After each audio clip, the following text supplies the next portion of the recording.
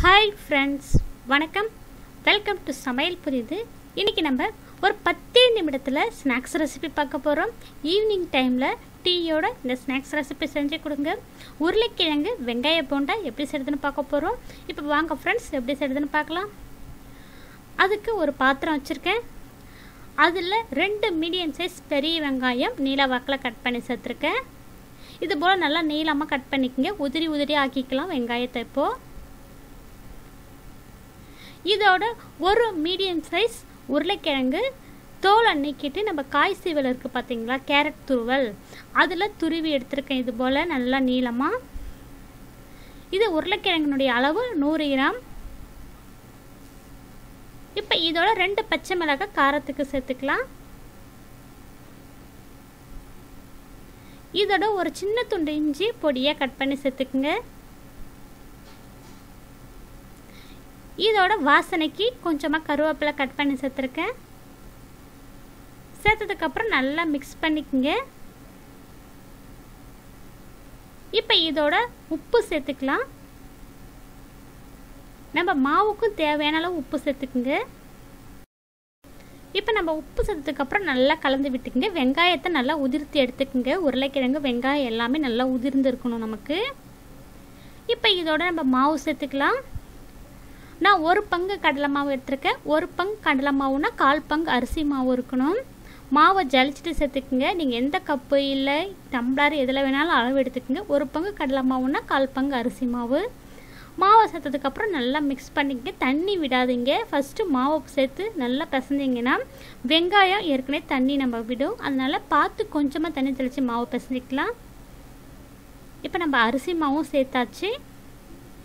இதோட ஒரு கால் டீஸ்பூன் குறைவாக பேக்கிங் சோடா சேர்த்துக்கலாம். இதோட ஒரு அரை டீஸ்பூன் அளவுக்கு தனி மிளகாத்தூள். இதோட ஒரு அரை டீஸ்பூன் அளவுக்கு சோம்பு சேர்த்துக்கலாம் வாசனைக்கு. நீங்கள் சோம்பு சேர்த்து செஞ்சிங்கன்னா ஃப்ளேவர் நல்லாயிருக்கும்.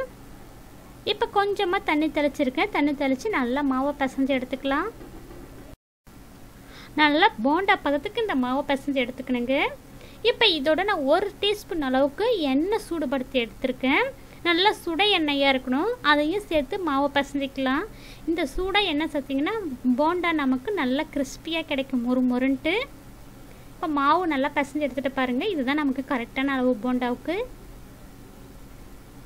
இப்போ எண்ணெய் காய வச்சுருக்கேன். எண்ணெய் காஞ்சதும் மிதமான தீயில் வச்சுக்கோங்க.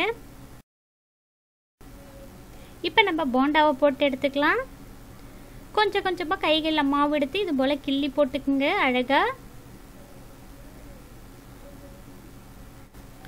போண்டா போட்டதுக்கப்புறம் மீடியம் ஃப்ளேம்லேயே இருக்கட்டுங்க ஐ ஃப்ளேமில் வச்சுன்னா சட்டுன்னு கறிக்கிடும் உள்ளே வேகாமல் இருக்கும்.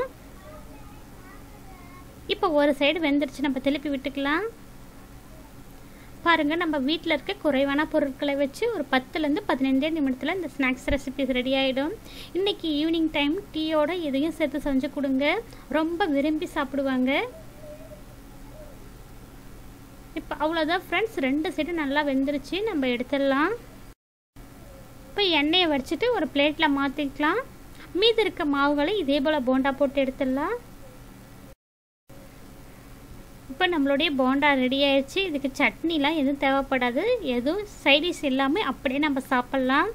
கண்டிப்பாக ஃப்ரெண்ட்ஸ் இது போல் நீங்களும் செய்து பாருங்கள் செஞ்சு பார்த்துட்டு உங்களோட கருத்துக்களை ஷேர் பண்ணுங்கள் இந்த வீடியோ உங்களுக்கு பிடிச்சிருந்தால் லைக் பண்ணுங்கள் ஷேர் பண்ணுங்கள் நம்ம சேனலுக்கு சப்ஸ்கிரைப் பண்ணுங்கள் கூட பெல் பட்டன் ப்ரெஸ் பண்ணி வச்சுக்கோங்க. அதில் ஆல் என்ற ஆப்ஷன் வரும். அதையும் கிளிக் பண்ணி வச்சுக்கோங்க. அப்போ தான் நான் போடுற புத்தம் புது வீடியோக்கள் உங்களுக்கு உடனுக்குடன் வந்து சேரும்.